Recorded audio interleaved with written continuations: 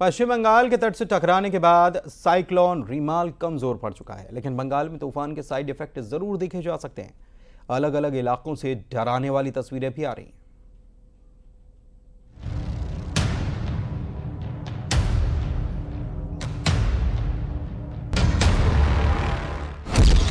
रीमाल के रौद्र की डराने वाली तस्वीरें।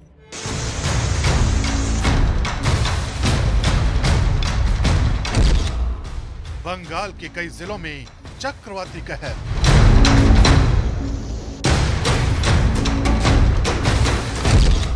कहीं गिरे पेड़, कहीं गिरी दीवार।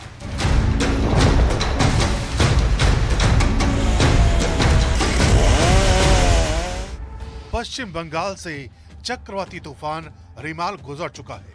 करीब छह घंटे तक चली तूफानी हवाओं ने बंगाल के कई जिलों में लोगों को दहशत में ला दिया।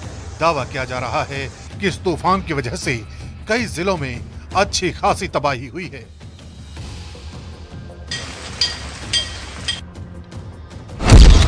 वो तस्वीरें भी आपको दिखाएँगे।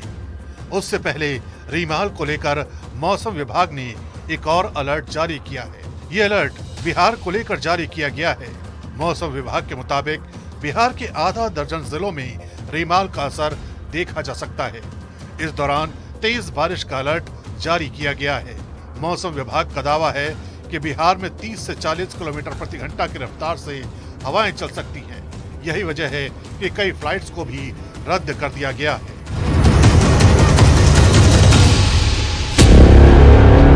उधर कोलकाता में चक्रवाती तूफ़ान का असर साफ़ तौर पर देखा जा रहा है। वहाँ लगातार बारिश हो रही है। जगह जगह से बड़े बड़े पेड़ उखड़ने की तस्वीरें आ रही हैं। कोलकाता में रेमाल तूफ़ान अपने पीछे छोड़ गया है। तबाही की तस्वीरें देखिए सदर्न एवेन्यू इलाका है जहाँ की मैं तस्वीरें आपको दिखा रही हूँ। यहाँ पर एक पेड़ और एक बिजली का खंबा दोनों एक साथ गिर गए हैं। हवाओं की तेज गति के चलते कल रात भर बारिश हुई है। कोलकाता में जगह जगह पर पानी भी जमा हुआ है और साथ ही ये तस्वीर देखिए और पूरी सड़क जो है इसकी वजह से जाम हो गई है। कई जगहों पर पेड़ टूटकर गिरे हैं, जिसकी वजह से ट्रैफ़िक डिस्टर्ब हुआ है।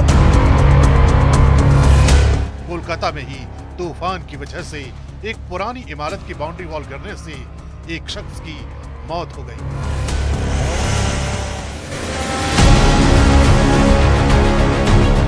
तूफ़ान के कहर का असर जिन जिलों पर सबसे ज़्यादा हुआ है वहाँ राहत और बचाव कार्य तेज कर दिए गए हैं। इसके अलावा सड़कों पर आवाजाही को दुरुस्त करने के लिए तूफ़ान की वजह से गिरे पेड़ों को भी हटाया जा रहा है।